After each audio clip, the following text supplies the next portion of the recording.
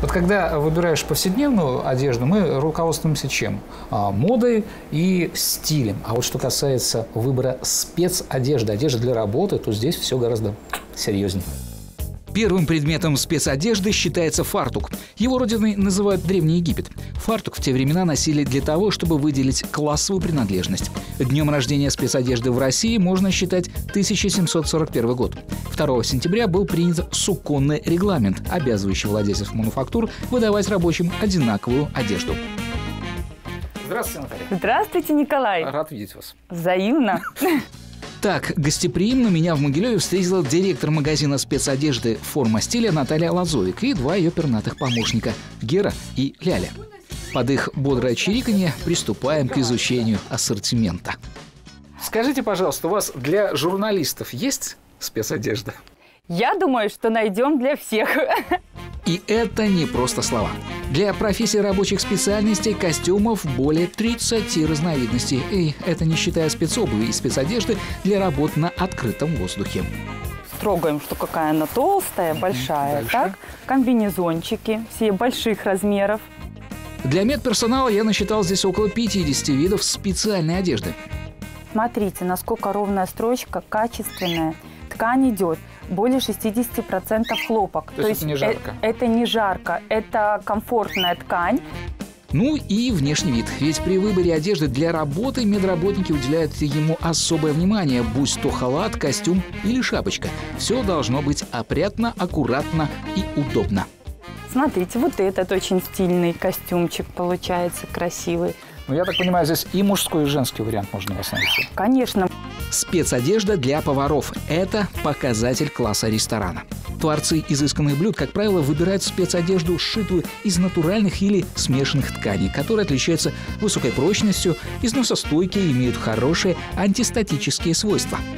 Для поваров мы предлагаем два варианта. Это белый и также черный с красным. И к этому варианту, допустим, мы можем предложить либо черный колпачок, Либо белый, либо белый, ну Либо- это, наверное, к первому, либо красный. но это для модников. На этом модельный ряд спецодежды не ограничивается. В магазине «Форма стиля» можно заказать любую одежду для профессионального гардероба, соответствующую вашим требованиям. Нужна одежда, чтобы не промокала? Пожалуйста. Устойчива к большим температурам? Есть и такая.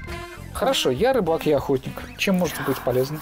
Очень можем быть полезны. Я хочу, Николай, вам тогда предложить. Это все любимые наши костюмы горки. Костюм «Горка» – это костюм горный ветрозащитный. Комплект одежды используется охотниками, рыболовами и туристами.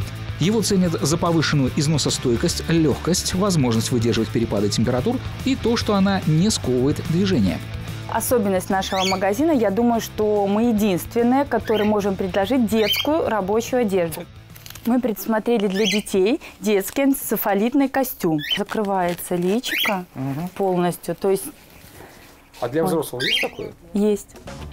А для школьников в магазине я обнаружил спецодежду для занятий по труду. Халаты из прочного и безопасного материала. Всегда хотел попробовать, что такое спецобувь. Видите, нос усиленный, пружинит и комфортно. Такая обувь не скользит, устойчива к химическим и термическим воздействиям и делает ее только из натуральных материалов. Вот, например, эти Сабо. Женские тапочки Сабо сербской фирмы «Леон» отличаются высоким комфортом, практичностью и модным дизайном, а удобная конструкция обеспечивает правильную поддержку стопы. В производстве этой же фирмы мы можем еще также посмотреть э, Саба с ортопедическими стельками. Вот, Николай, можете просмотреть, Ну да. мягкая, насколько она мягкая.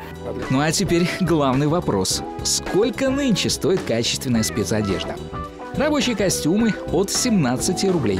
Медицинские халаты и костюмы от 15 рублей. Цены на спецобувь тоже начинаются от 15 рублей. А во время проведения акции в магазине «Форма стиля» в Могилеве спецодежду для работы можно будет купить еще выгоднее.